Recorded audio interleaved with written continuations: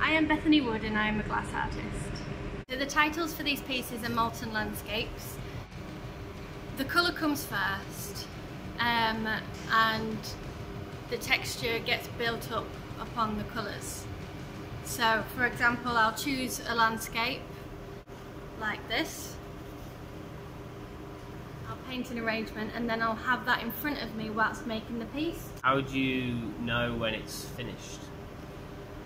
Sometimes um, I go over the top, sometimes I'll overdo it and uh, and the piece comes out and I just think why did I just do that last colour? Why did I put it on? Because as soon as you do something wrong then you know that's that's that piece, that's that time wasted. Um, I guess it's just feeling really by stepping back uh, having a good assistant which will look after the piece of work for you where you can step back and actually look at it so then you can decide if you need to put another layer on or if that's that's the end.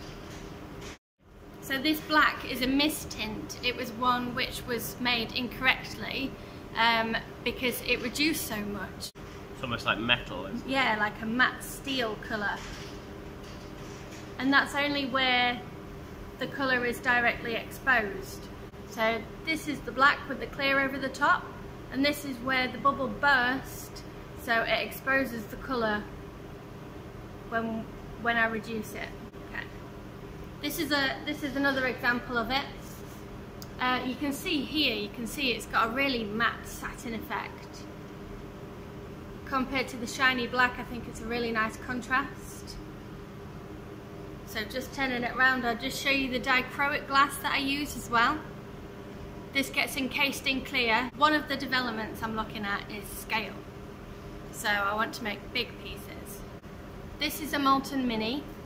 It's about 16 centimetres high. These Molten miniatures are for sale and these small um, Molten landscapes are for sale at Blowfish Glass. And Blowfish Glass is an online gallery run by myself, uh, an artist-led gallery where I sell lots of artists' glasswork. Thank you.